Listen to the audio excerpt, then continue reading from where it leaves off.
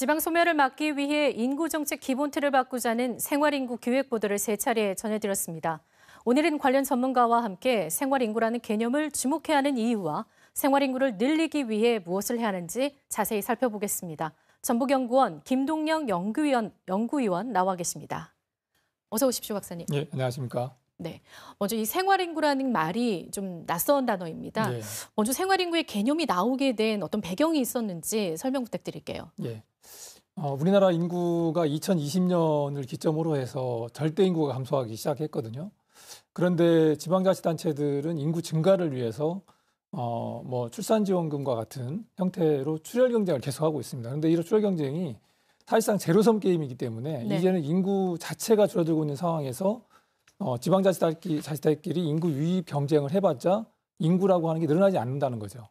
그렇다면은 주민등록 인구에는 한계가 있는데 어, 주민등록 인구가를 늘리려고 하는 이유가 지역의 어, 사회적 활력과 경제적 활력을 높이기 위한 거단 말이에요. 그렇다면 이 두 가지를 어, 해결할 수 있는 다른 개념은 없을까라고 하다 보니까 그렇다면 우리 지역에 잠깐이라도 또는 중장기적으로 머무는 사람이 있다면 그 사람들이 우리 지역에서 사회적 활력과 경제적 활력을 높인다면 그런 인구도 이제는 인구 개념으로 한번 활용해 보자라고 하는 차원에서 최근에 생활 인구라고 하는 개념이 아예 법적 인구 개념으로 이제 적용이 되기 시작한 것입니다.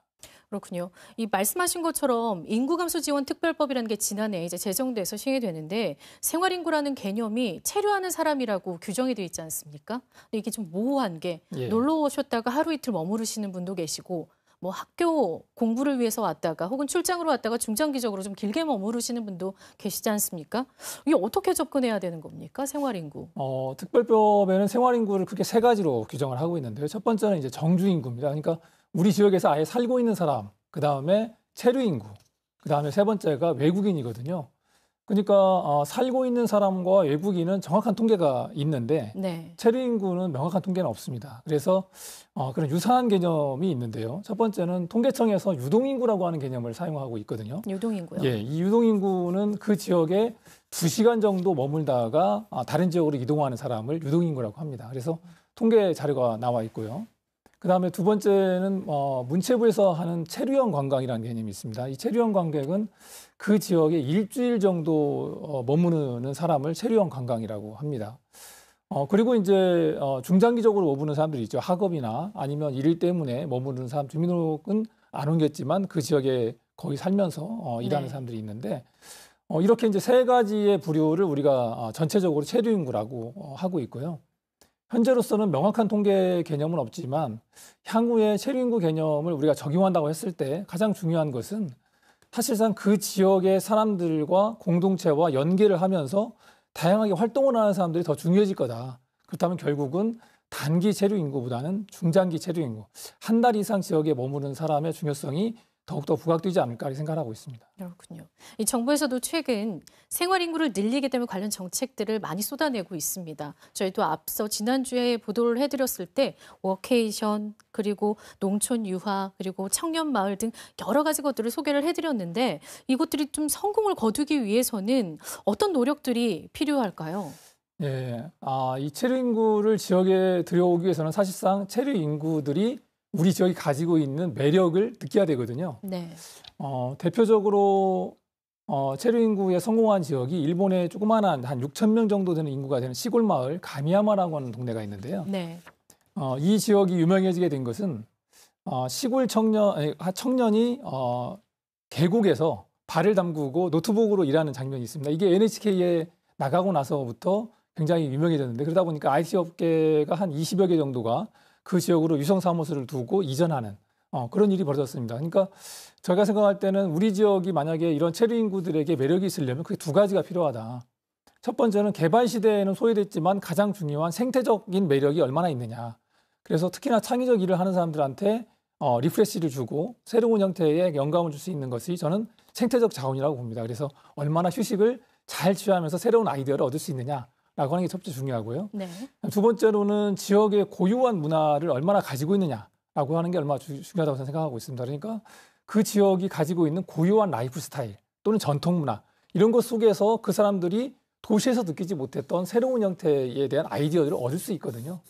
그렇다면은 우리가 지금까지는 개발 시대에서는 뭔가 새로운 것을 올리고 개발하고 파괴하고 새로운 걸 만드는 거에 매력을 느꼈는데 이제 이 체류 인구들에게는 사실상 이 생활 인구를 하시는 분들에게는 얼마나 어, 생태적으로 내가 휴식을 취할 수 있는지 또 그걸 통해서 그 지역만이 가지고 있는 고유한 어, 전통 문화로부터 얼마나 아이디어를 얻을 수 있는지 이게 중요하다는 거죠. 그래서 두 가지를 얼마나 더 매력 요소를 만들어갈 수 있는지가 저는 중요하다고 생각하고 있습니다. 그렇군요. 인구라는 개념이 이제까지는 사실 어떤 공공적인 서비스 자원을 배분할 때 중요한 지표 개념으로 사용돼 왔었지 않습니까? 뭐 예를 들어 지방교부세 배정할 때 주민등록상의 인구가 중요한 것처럼 네. 말씀이죠. 그렇다면 정책을 결정할 때 이 생활인구 개념을 적용하기 위해서는 측정 방식이나 구체적인 어떤 지표 이런 것들 좀 채워야 할 내용들 앞서도 잠시 설명해 주셨지만 많아 보입니다. 네. 어떻습니까?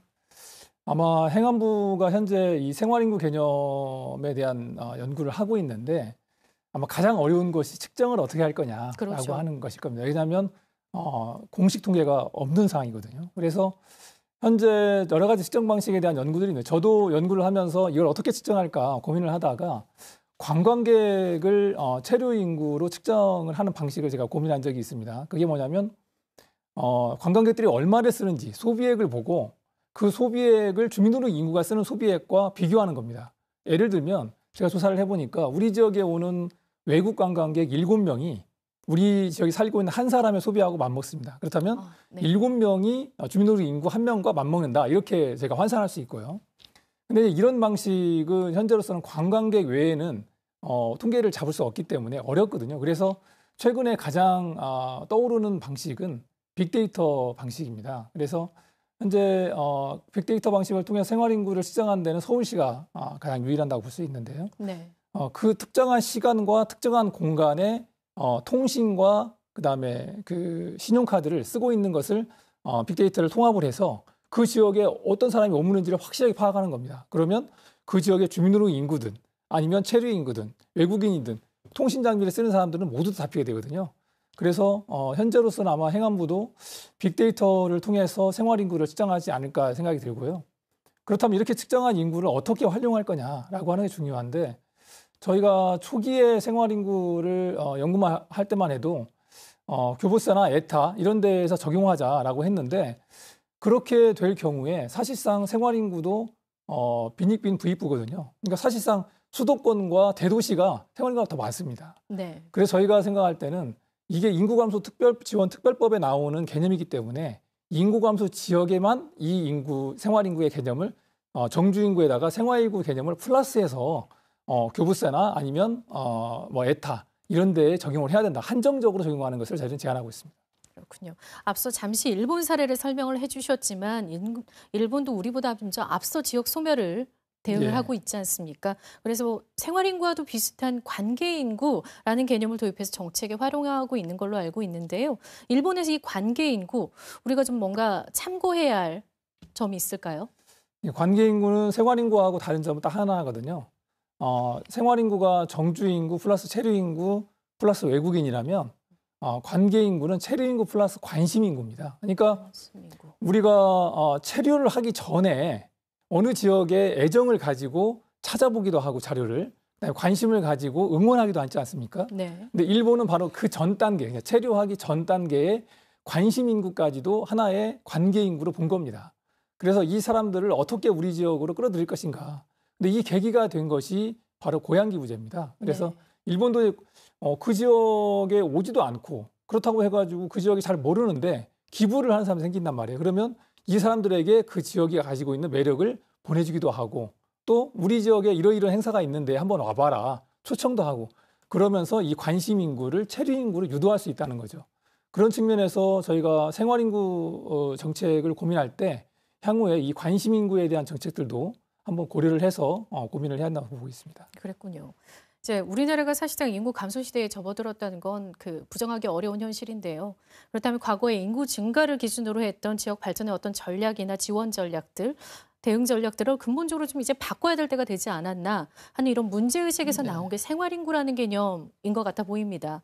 패러다임의 전환 쉽지만은 않아 보이는데 어떻게 가능할지 마지막으로 설명 부탁드립니다. 이 생활 인구 개념을 적용하자고 하는 것은 지금까지의 인구 증가 정책에서 인구 관리 정책으로 넘어가는 패러다임의 전환입니다.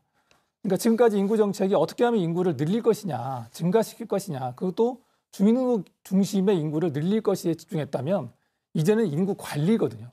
얼마나 인구가 부족한 지역의 인구를 균형 있게 음, 이렇게 배분할 거냐, 또는 인구가 너무 적은 지역에 한해서 행정 서비스나 아니면 어, 발전 전략을 어떻게 짤 거냐, 라고 하는 다양한 방식의 이제는 인구 어, 이 대응 전략이 필요합니다. 그래서 어느 지역에서는 인구 감소에 대한 것에 대한 이제는 어, 적응을 해야 되고 또는 인구가 어, 줄어드는 것에 대해서 어, 이제는 어느 지역에서는 관리를 또 해야 되고 그래서 이 종합적인 어, 이 패러다임의 전환기에 있기 때문에 지방자치단체가 이제는 아, 인구 중심, 인구 증가 중심의 정책에서 인구 관리를 어떻게 해나갈 것인지에 대한 정책으로 전환을 하고 새로운 형태의 생활 인구를 어떻게 우리가 지역의 새로운 어, 혁신 인구로 만들어낼 것인지 고민을 해야 되는 단계가 왔다 이렇게 생각하고 있습니다.